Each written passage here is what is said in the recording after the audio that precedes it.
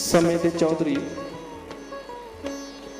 ਨੂਰਦੀਨ ਦੇ ਪੁੱਤਰ ਅਮਾਨਤ ਖਾਨ ਨੇ ਗੁਰਦੁਆਰਾ ਤਰਨਤਾਰਨ ਸਾਹਿਬ ਦੀਆਂ ਇੱਟਾਂ ਚਕਵਾ ਦਿੱਤੀਆਂ। ਗੁਰੂ ਪਾਤਸ਼ਾਹ ਨੂੰ ਆ ਕੇ ਸਿੱਖਾਂ ਨੇ ਦੱਸਿਆ, ਪਾਤਸ਼ਾਹ, ਨੂਰਦੀਨ ਨੇ ਗੁਰੂ ਘਰ ਦੀਆਂ ਆਵਿਆਂ ਚੋਂ ਇੱਟਾਂ ਚਕਵਾ ਲਈਆਂ ਨੇ ਔਰ ਗੁਰੂ ਪਾਤਸ਼ਾਹ ਨੇ ਕਿਹਾ, ਕੋਈ ਗੱਲ ਨਹੀਂ, ਗੁਰੂ ਘਰ ਦੀਆਂ ਨੇ, ਗੁਰੂ ਘਰ ਵੀ ਆ ਜਾਣਗੀਆਂ। ਔਰ ਇਹ ਘਟਨਾ ਬਿਲਕੁਲ ਉਵੇਂ ਹੀ ਹੋਈ ਕਿ 18ਵੀਂ ਸਦੀ ਦੇ ਵਿੱਚ ਸਰਦਾਰ ਜੱਸਾ ਸਿੰਘ ਆਲੂਵਾਲੀਆ ਤੇ ਸਰਦਾਰ ਬੁੱਧ ਸਿੰਘ ਫੈਜ਼ਲਪੁਰੀਏ ਨੇ ਨੂਰਦੀਨ ਦੀ ਸਰਾਹ ਤੋਂ ਇੱਟਾਂ ਉਹ ਲਾ ਕੇ ਤਰਨਤਾਰਨ ਦੀ ਸਰੋਵਰ ਦੀ ਪਰਕਰਮਾ ਦੇ ਵਿੱਚ ਲਵਾਈਆਂ।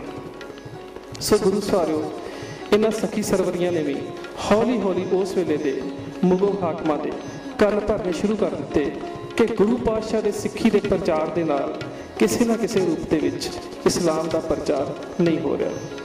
ਇਹ ਗੱਲ ਵੱਖਰੀ ਹੈ ਕਿ ਅੱਜ ਵੀ ਸ਼ੇਖ ਫਤਿਹ ਦੀ ਉਸ ਕਬਰ ਦੇ ਉੱਪਰ ਸਾਰੇ ਹੀ ਸਿੱਖ ਪੰਜਾਬ 'ਚ ਵਸਣ ਵਾਲੇ ਲੋਕ ਜਦੋਂ ਵੀ ਕੋਈ ਨਵੀਂ ਮੱਝ ਹੈ, ਖੀਰਾ ਚੜਾਉਂਦੇ ਨੇ, ਉੱਥੇ ਜਾ ਕੇ ਸੁਖਣਾ ਸੁਖਦੇ ਨੇ, ਮੰਨਤਾਂ ਮੰਗਦੇ ਨੇ ਔਰ ਇੱਥੋਂ ਤੱਕ ਵੀ ਕਿਤਾਬਾਂ ਦੇ ਵਿੱਚ ਆ ਜਿਹੜੀ ਤੁਸੀਂ ਕਿਤਾਬ ਵੇਖ ਰਹੇ ਹੋ ਬਾਬਾ ਸ਼ੇਖ ਫੱਤਾ ਇਹਨਾਂ ਕਿਤਾਬਾਂ ਦੇ ਵਿੱਚ ਇੱਥੋਂ ਤੱਕ ਪ੍ਰਚਾਰ ਕੀਤਾ ਗਿਆ ਹੈ ਕਿ ਸ਼ੇਖ ਫੱਤਾ ਗੁਰੂ ਅਰਜਨ ਸਾਹਿਬ ਦਾ ਸਿੱਖ ਸੀ ਔਰ ਗੁਰੂ ਪਾਤਸ਼ਾਹ ਨੇ ਇਸ ਨੂੰ ਵਰ ਦਿੱਤਾ। ਕਿ ਤੂੰ ਜਿੱਥੇ ਜਾ ਕੇ ਬੈਠੇਗਾ ਮੇਰੇ ਸਿੱਖ ਤੇਰੇ ਦਰਸ਼ਨ ਕਰਕੇ ਪ੍ਰਸੰਨ ਹੋਣਗੇ। ਜਦੋਂ ਕਿ ਇਤਿਹਾਸ ਦੇ ਵਿੱਚ ਐਸਾ ਕੋਈ ਸਰੋਤ ਜਾਂ ਐਸਾ ਕੋਈ ਵਾਕਿਆ ਜਾਂ ਐਸਾ ਕੋਈ ਤੱਤ ਬਿਲਕੁਲ ਨਜ਼ਰ ਨਹੀਂ ਆਉਂਦਾ ਕਿ ਗੁਰੂ ਪਾਤਸ਼ਾਹ ਨੂੰ ਕੋਈ ਸ਼ੇਖ ਫਤਾ ਨਾਂ ਦਾ ਪੀਰ ਮਿਲਿਆ ਹੋਵੇ। ਔਰ ਗੁਰੂ ਪਾਤਸ਼ਾਹ ਨੇ ਉਸ ਨੂੰ ਵਾਰ ਦਿੱਤਾ ਹੋਵੇ। ਇਹ ਬਿਲਕੁਲ ਉਹ ਲੋਕ ਨੇ ਜਿਨ੍ਹਾਂ ਨੇ ਗੁਰੂ ਘਰ ਦੀ ਡਟ ਕੇ ਵਿਰੋਧਤਾ ਕੀਤੀ, ਜਿਨ੍ਹਾਂ ਨੇ ਗੁਰੂ ਘਰ ਦੇ ਖਿਲਾਫ ਉਸ ਵੇਲੇ ਦੇ ਰਾਜਨੀਤਿਕ ਹਾਕਮਾਂ ਨੂੰ ਭੜਕਾਇਆ, ਜਿਨ੍ਹਾਂ ਨੇ ਗੁਰੂ ਸਾਹਿਬ ਦੇ ਖਿਲਾਫ ਈਰਖਾ ਪ੍ਰਗਟ ਕਰਨ ਦੇ ਵਾਸਤੇ ਉਹਨਾਂ ਨੂੰ ਸ਼ਹੀਦ ਕਰਾਉਣ ਦੀਆਂ ਗੋਦਾਂ ਗੁੱਦੀਆਂ। ਅੱਜ ਉਹਨਾਂ ਦੇ ਡੇਰਿਆਂ ਤੇ, ਅੱਜ ਉਹਨਾਂ ਦੇ ਪੀਰਖਾਨਿਆਂ ਤੇ ਅਸੀਂ ਲੋਕੀ ਜਾ ਕੇ ਗੁਰੂ ਸਾਹਿਬ ਨੂੰ ਦੁੱਧ ਚੜਾ ਰਹੇ ਹਾਂ ਔਰ ਇਸ ਗੱਲ ਦਾ ਪ੍ਰਚਾਰ ਕਰ ਰਹੇ ਹਾਂ ਕਿ ਇਸ ਪੀਰ ਨੂੰ ਗੁਰੂ ਪਾਤਸ਼ਾਹ ਨੇ ਵਾਰ ਦਿੱਤਾ ਸੀ। ਇਹ ਗੱਲ ਬਿਲਕੁਲ ਗਲਤ ਹੈ। ਗੁਰੂ ਪਾਤਸ਼ਾਹ ਨੇ ਅੰਮ੍ਰਿਤਸਰ ਸਰੋਵਰ ਦੀ ਰਚਨਾ ਕਰ ਦਿੱਤੀ ਹੈ। ਉਸ ਦੇ ਨਾਲ ਹੀ ਗੁਰੂ ਗ੍ਰੰਥ ਸਾਹਿਬ ਮਹਾਰਾਜ ਦੀ ਸੰਪਾਦਨਾ ਦਾ ਕੰਮ ਆਰੰਭ ਹੋਇਆ ਕਿਉਂਕਿ ਉਸ ਵੇਲੇ ਇਤਿਹਾਸਕ ਸਰੋਤ ਦੱਸਦੇ ਨੇ ਕਿ ਕੁਝ ਲੋਕਾਂ ਨੇ ਜਿਨ੍ਹਾਂ ਦਾ ਸਬੰਧ ਪ੍ਰਿਥੀ ਚੰਦ ਦੇ ਨਾਲ ਸੀ, ਉਹਨਾਂ ਨੇ ਗੁਰੂ ਨਾਨਕ ਸਾਹਿਬ ਦੇ ਨਾਂ ਦੀ ਛਾਪ ਲਾ ਕੇ ਕੱਚੀ ਬਾਣੀ ਰਚਣੀ ਸ਼ੁਰੂ ਕਰ ਦਿੱਤੀ। ਅਜੇ ਵੀ ਕਈ ਤਰ੍ਹਾਂ ਦੀ ਕੱਚੀ ਬਾਣੀ ਹੈ ਜਿਹੜੀ ਸਾਡੇ ਪ੍ਰਚਲਿਤ ਹੋ ਚੁੱਕੀ ਹੈ ਔਰ ਗੁਰੂ ਨਾਨਕ ਸਾਹਿਬ ਦੇ ਨਾਮ ਦੀ ਛਾਪ ਲੱਗਦੀ ਹੈ ਔਰ ਗੁਰੂ ਸਵਾਰਿਓ ਅਸੀਂ ਉਸ ਨੂੰ ਬਾਣੀ ਦੇ ਰੂਪ ਵਿੱਚ ਪੜ੍ਹਦੇ ਹਾਂ। ਮਿਸਾਲ ਦੇ ਤੌਰ ਤੇ, ਸਾਹਿਬ ਸ੍ਰੀ ਗੁਰੂ ਗ੍ਰੰਥ ਸਾਹਿਬ ਮਹਾਰਾਜ ਦੇ ਵਿੱਚ ਕਿਤੇ ਨਹੀਂ ਇਹ ਲਿਖਿਆ ਹੋਇਆ ਕਿ ਨਾਨਕ ਨੀਵਾ ਜੋ ਚਲੇ ਲੱਗੇ ਨਾ ਤੱਤੀ ਬਾਬੂ ਨਾਮ ਖੁਮਾਰੀ ਨਾਨਕਾ ਚੜੀ ਰਹੇ ਦਿਨ ਰਾਤ, ਇਹ ਕਿਤੇ ਨਹੀਂ ਲਿਖਿਆ ਹੋਇਆ। ਸੋ ਸੁਖੀਆ ਜਿਸ ਨਾਮ ਆਧਾਰ, ਇਹ ਕਿਤੇ ਨਹੀਂ ਲਿਖਿਆ ਹੋਇਆ। ਗੁਰੂ ਸਾਹਿਬ ਇਹ ਉਸ ਵੇਲੇ ਦੀਆਂ ਵਿਗਾੜੀਆਂ ਹੋਈਆਂ ਗੁਰੂ ਨਾਨਕ ਸਾਹਿਬ ਦੇ ਛਾਪ ਲਗਾ ਕੇ ਰਚੀਆਂ ਹੋਈਆਂ ਕੱਚੀਆਂ ਬਾਣੀਆਂ ਨੇ, ਜਿਨ੍ਹਾਂ ਨੂੰ ਅੱਜ ਵੀ ਅਸੀਂ ਪੜ੍ਹਦੇ ਜਾ ਰਹੇ ਹਾਂ ਔਰ ਇੱਥੋਂ ਤੱਕ ਕਿ ਕੁਝ ਅਖੌਤੀ ਡੇਰੇਦਾਰ ਧਾਰਨਾਵਾਂ ਲਾ ਕੇ ਇਹਨਾਂ ਦਾ ਕੀਰਤਨ ਵੀ ਕਰਦੇ ਆ। ਪਰ ਅਸੀਂ ਮੂਕ ਦਰਸ਼ਨ ਪੜ ਕੇ ਇਹਨੂੰ ਗੁਰੂ ਨਾਨਕ ਸਾਹਿਬ ਦੀ ਬਾਣੀ ਸਮਝੀ ਬੈਠੇ ਹਾਂ। ਜਿਸ ਵੇਲੇ ਪਾਤਸ਼ਾਹ ਗੁਰੂ ਗ੍ਰੰਥ ਸਾਹਿਬ ਮਹਾਰਾਜ ਦੀ ਸੰਪਾਦਨਾ ਕਰ ਰਹੇ ਨੇ, ਉਸ ਵੇਲੇ ਦੇ ਚਾਰ ਲਖਾਰੀ ਗੁਰੂ ਪਾਤਸ਼ਾਹ ਦੇ ਕੋਲ ਆਏ ਨੇ। ਇੱਕ ਦਾ ਨਾਂ ਕੰਨ ਹੈ, ਇੱਕ ਦਾ ਨਾਂ ਪੀਲੂ ਹੈ ਇੱਕ ਦਾ ਨਾਂ ਛੱਜੂ ਹੈ, ਇੱਕ ਦਾ ਨਾਂ ਹਸਨ ਹੈ। ਇਹਨਾਂ ਚੌਹਾਂ ਨੇ ਆ ਕੇ ਗੁਰੂ ਪਾਤਸ਼ਾਹ ਨੂੰ ਬੇਨਤੀ ਕੀਤੀ ਹੈ ਕਿ ਸਾਡੀਆਂ ਰਚਨਾਵਾਂ ਨੂੰ ਸਾਹਿਬ ਸ੍ਰੀ ਗੁਰੂ ਗ੍ਰੰਥ ਸਾਹਿਬ ਮਹਾਰਾਜ, ਜਿਸ ਪੋਥੀ ਦੀ ਤੁਸੀਂ ਸੰਪਾਦਨਾ ਕਰ ਰਹੇ ਹੋ, ਉਸ ਦੇ ਵਿੱਚ ਜਗ੍ਹਾ ਦਿੱਤੀ ਜਾਵੇ। ਇਹਨਾਂ ਚੌਹਾਂ ਨੂੰ ਗੁਰੂ ਪਾਤਸ਼ਾਹ ਨੇ ਰਚਨਾ ਨੂੰ ਸੁਣਾਉਣ ਵਾਸਤੇ ਕਿਹਾ। ਇਹਨਾਂ ਦੀਆਂ ਰਚਨਾਵਾਂ ਦਾ ਸੰਬੰਧ ਗੁਰਮਤਿ ਵਿਚਾਰਧਾਰਾ ਦੇ ਬਿਲਕੁਲ ਉਲਟ ਸੀ ਪਰ ਗੁਰੂ ਪਾਤਸ਼ਾਹ ਨੇ ਇਹਨਾਂ ਰਚਨਾਵਾਂ ਨੂੰ ਗੁਰੂ ਗ੍ਰੰਥ ਸਾਹਿਬ ਮਹਾਰਾਜ ਦੇ ਵਿੱਚ ਸ਼ਾਮਲ ਕਰਨ ਤੋਂ ਇਨਕਾਰ ਕਰ ਦਿੱਤਾ। ਇਹ ਅਖੌਤੀ ਲੇਖਾਂ ਦਾ ਗਰੁੱਪ ਵੀ ਗੁਰੂ ਘਰ ਦਾ ਵਿਰੋਧੀ ਬਣ ਬੈਠਾ। ਇਹਨਾਂ ਨੇ ਵੀ ਛੋਟੇ-ਮੋਟੇ ਹਾਕਮਾਂ ਦੀਆਂ, ਛੋਟੇ-ਮੋਟੇ ਵਜ਼ੀਰਾਂ ਦੀਆਂ ਸੇਵਾਵਾਂ ਲੈ ਕੇ ਗੁਰੂ ਘਰ ਦੇ ਖਿਲਾਫ ਪ੍ਰਸ਼ਾਸਨ ਨੂੰ ਚੁੱਕਣਾ ਸ਼ੁਰੂ ਕਰ ਦਿੱਤਾ। ਗੁਰੂ ਹਰਗੋਬਿੰਦ ਸਾਹਿਬ ਪਾਤਸ਼ਾਹ ਉਸ ਵੇਲੇ ਜਵਾਨੀ ਦੀ ਉਮਰ 'ਚ ਨੇ। ਜਿਸ ਵੇਲੇ ਚੰਦੂ ਦੀ ਲੜਕੀ ਦਾ ਰਿਸ਼ਤਾ ਆਇਆ। ਇੱਥੋਂ ਚੰਦੂ ਦੀ ਗੱਲ ਸ਼ੁਰੂ ਹੁੰਦੀ ਹੈ, ਕਿਉਂਕਿ ਕਾਫੀ ਸਰੋਤਾਂ ਦੇ ਵਿੱਚ ਇਸ ਗੱਲ ਦਾ ਜ਼ਿਕਰ ਮਿਲਦਾ ਹੈ। ਕੁਝ ਸਰੋਤ ਚੰਦੂ ਨੂੰ ਦਿੱਲੀ ਦਾ ਅਹਿਲਕਾਰ ਦੱਸਦੇ ਨੇ, ਪਰ ਵਧੇਰੇ ਸਰੋਤ ਕਹਿੰਦੇ ਨੇ ਕਿ ਚੰਦੂ ਦੀ ਰਿਹਾਇਸ਼ ਲਾਹੌਰ ਦੇ ਵਿੱਚ ਸੀ ਔਰ ਇੱਕ ਅਮੀਰ ਬ੍ਰਾਹਮਣ ਸੀ। ਉਹਨਾਂ ਸਮਿਆਂ ਦੇ ਵਿੱਚ ਅੱਜ ਦੀ ਤਰ੍ਹਾਂ ਰਿਸ਼ਤੇ ਨਹੀਂ ਸੀ ਹੁੰਦੇ। ਇੱਕ ਇੱਕ ਪ੍ਰੋਹਤ ਲੜਕੀ ਵਾਲਿਆਂ ਦੇ ਘਰੋਂ ਲੜਕੇ ਵਾਲਿਆਂ ਵੱਲ ਰਿਸ਼ਤੇ ਦੀ ਗੱਲ ਨੂੰ ਲੈ ਕੇ ਜਾਂਦਾ ਸੀ।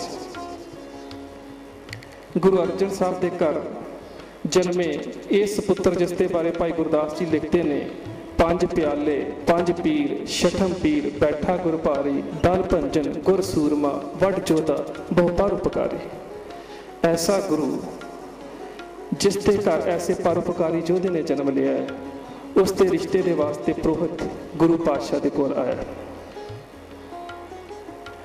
ਗੁਰੂ ਪਾਤਸ਼ਾਹ ਨੇ ਹਾਂ ਕਰ ਦਿੱਤੀ ਹੈ, ਤਾਂ ਉਹ ਦੁਬਾਰਾ ਚੰਦੂ ਨੂੰ ਦੱਸਣ ਗਿਆ ਕਿ ਰਿਸ਼ਤਾ ਪੱਕਾ ਕਰ ਲਿਆ ਜਾਵੇ।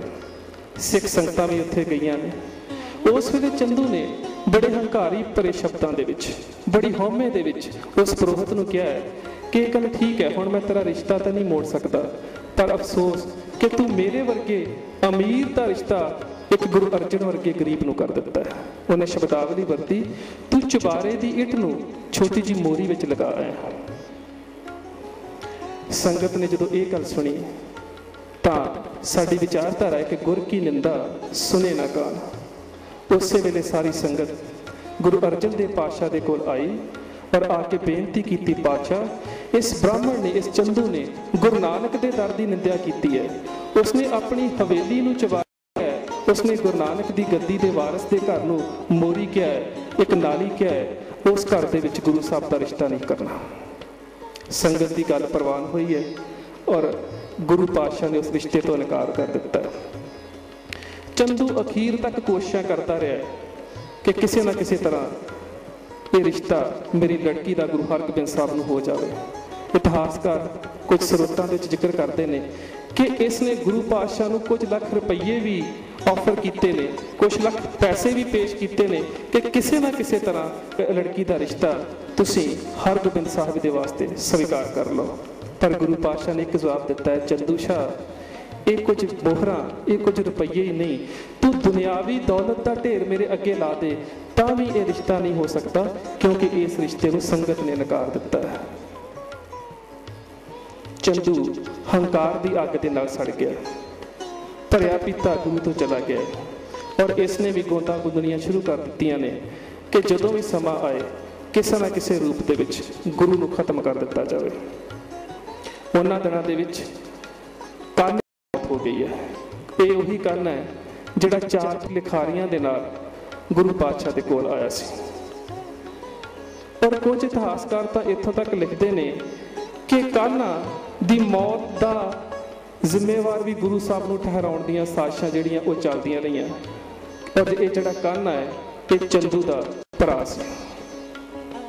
ਉਸ ਦੇ ਚਾਚੇ ਦਾ ਪੁੱਤ ਭਰਾ ਸੀ ਔਰ ਕਲਾਨੌਰ ਦਾ ਰਹਿਣ ਵਾਲਾ ਸੀ।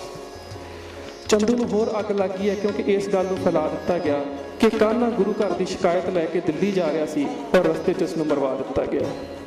ਇਹ ਵੀ ਅਫਵਾਹ ਫੈਲ ਗਈ। ਸੋ ਇੱਕ ਬੰਨੇ ਘਰ ਤੋਂ ਵਿਰੋਧਤਾ ਸ਼ੁਰੂ ਹੋਣੀ ਸ਼ੁਰੂ ਹੋਈ ਹੈ ਦੂਜੇ ਪਾਸੇ ਸਖੀ ਸਰਵਰ ਮਤ, ਜਿਨ੍ਹਾਂ ਦੇ ਅਨੇਕਾਂ ਹੀ ਅੱਡੇ ਜਿਹੜੇ ਨੇ, ਅਨੇਕਾਂ ਹੀ ਡੇਰੇ ਜਿਹੜੇ ਨੇ, ਅਨੇਕਾਂ ਹੀ ਉਹਨਾਂ ਦੇ ਮਕਬਰੇ ਜਿਹੜੇ ਨੇ, ਉਹਨਾਂ ਦੀਆਂ ਰੌਣਕਾਂ ਗਾਇਬ ਹੁੰਦੀਆਂ ਜਾ ਰਹੀਆਂ ਨੇ ਔਰ ਗੁਰੂ ਨਾਨਕ ਦੇ ਦਰ ਤੇ ਲੋਕ ਸਿਰ ਝੁਕਾਉਂਦੇ ਜਾ ਰਹੇ ਨੇ। ਉਹਨਾਂ ਨੇ ਵੀ ਉੱਥੋਂ ਸਥਾਨਕ ਹਾਕਮਾਂ ਦੇ ਨਾਲ ਮਿਲ ਕੇ ਗੁਰੂ ਘਰ ਦੀ ਵਿਰੋਧਤਾ ਆਰੰਭ ਕਰ ਦਿੱਤੀ ਹੈ। ਘਰ ਦੇ ਵਿੱਚ ਪ੍ਰਿਥੀ ਚੰਦ ਵਿਰੋਧਤਾ ਕਰ ਰਿਹਾ ਪ੍ਰਸ਼ਾਸਨਿਕ ਪੱਧਰ ਦੇ ਉੱਪਰ ਉਸ ਵੇਲੇ ਦੇ ਅਹਲਕਾਰ ਵਿਰੋਧੀ ਬਣੇ ਬੈਠੇ ਨੇ। ਚੰਦੂ ਗੁਰੂ ਘਰ ਦੇ ਵਿਰੋਧ ਦੇ ਵਿੱਚ ਸਾਸ਼ਾ ਰਚ ਰਿਹਾ ਹੈ। ਔਰ ਜਿਨ੍ਹਾਂ ਦੀ ਬਾਣੀ ਗੁਰੂ ਗ੍ਰੰਥ ਸਾਹਿਬ ਦੇ ਵਿੱਚ ਸ਼ਾਮਲ ਨਹੀਂ ਕੀਤੀ ਗਈ, ਉਹ ਕਿਸੇ ਨਾ ਕਿਸੇ ਰੂਪ ਦੇ ਵਿੱਚ ਗੁਰੂ ਸਾਹਿਬ ਨੂੰ ਖਤਮ ਕਰਨਾ ਚਾਹੁੰਦੇ ਨੇ। ਅਕਬਰ ਪੰਜਾਬ ਆਇਆ। ਬੜਾ ਸੁਨਹਿਰੀ ਮੌਕਾ ਸਮਝਿਆ ਗੁਰੂ ਘਰ ਦੇ ਵਿਰੋਧੀਆਂ ਨੇ। ਉਹਨਾਂ ਨੇ ਅਕਬਰ ਨੂੰ ਇੱਕ ਮੇਜ਼ਰਨਾਮਾ ਲਿਖ ਕੇ ਸ਼ਿਕਾਇਤ ਕੀਤੀ ਹੈ ਕਿ ਸਿੱਖਾਂ ਦੇ ਗੁਰੂ ਵੱਲੋਂ ਇੱਕ ਐਸੀ ਗ੍ਰੰਥ ਦੀ ਰਚਨਾ ਕੀਤੀ ਜਾ ਰਹੀ ਹੈ, ਜਿਸ ਦੇ ਵਿੱਚ ਮੁਹੰਮਦ ਸਾਹਿਬ ਦੇ ਬਾਰੇ ਇਤਰਾਜ਼ਯੋਗ ਟਿੱਪਣੀਆਂ ਕੀਤੀਆਂ ਗਈਆਂ ਨੇ, ਜਿਸ ਦੇ ਵਿੱਚ ਇਸਲਾਮ ਧਰਮ ਦੀ ਬੇਅਦਬੀ ਕੀਤੀ ਗਈ ਹੈ। ਅਕਬਰ ਨੇ ਉਸ ਸ਼ਿਕਾਇਤ ਨੂੰ ਸੁਣਿਆ ਹੈ ਔਰ ਉਸੇ ਵੇਲੇ ਫਰਮਾਨ ਜਾਰੀ ਕੀਤਾ ਕਿ ਮੈਂ ਇਸ ਗ੍ਰੰਥ ਨੂੰ ਵਾਚਣਾ ਚਾਹੁੰਦਾ ਪਾਤਸ਼ਾਹ ਤੱਕ। ਇਹ ਸੁਨੇਹਾ ਪਹੁੰਚਿਆ ਗੁਰੂ ਅਰਜਨ ਦੇਵ ਪਾਤਸ਼ਾਹ ਨੇ ਬਾਬਾ ਬੁੱਢਾ ਜੀ ਔਰ ਭਾਈ ਗੁਰਦਾਸ ਨੂੰ ਗੁਰੂ ਗ੍ਰੰਥ ਸਾਹਿਬ ਮਹਾਰਾਜ ਦਾ ਉਸ ਧਾਰਮਿਕ ਸਰੂਪ ਦੇ ਕੇ